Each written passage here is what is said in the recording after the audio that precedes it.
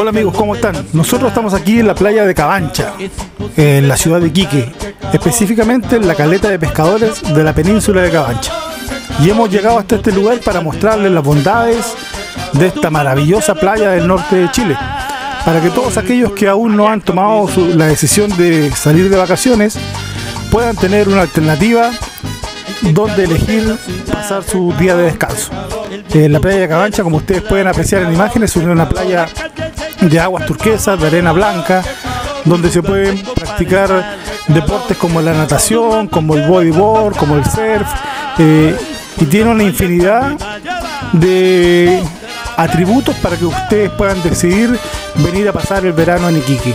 Una playa tranquila, donde pueden venir a relajarse, a tomar sol, una playa extensa, sobre todo una playa natural, no es una playa artificial, una playa natural donde en el verano pasa de todo, así que los que no conocen Cabancha, los que no conocen Iquique, tienen una alternativa más donde decidir tomar sus vacaciones. Los dejo un momento tranquilo para que puedan disfrutar de la maravilla de esta playa.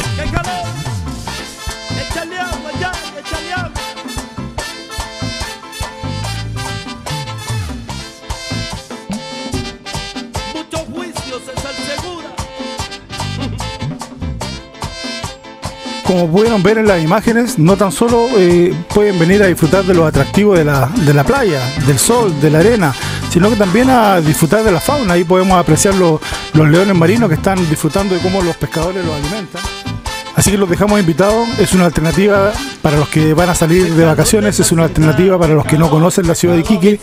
Eh, es una playa bonita y no es la única con la que cuenta la ciudad. Está la playa en el barrio El Morro, la playa Bellavista, está Playa Brava, está la playa Guayquique y saliendo de la ciudad, porque Cabancha se encuentra en medio de la ciudad de Iquique, eh, saliendo de la ciudad tiene una, infinidad de playas que comienzan eh, del sector de Bajo Molle hasta llegar al río Loa. Así que eh, los dejamos invitados. Es una alternativa más para pasar las vacaciones. Iquique, sus playas, Zona Franca, desiertos, salitreras, el oasis de Pica, Matilla, la quebrada de Tarapacá, los pueblos del interior, los geysers de Puchuldiza.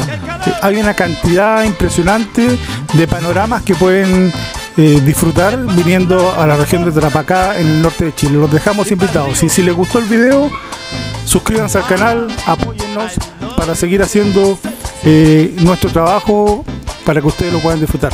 Chao, que estén bien.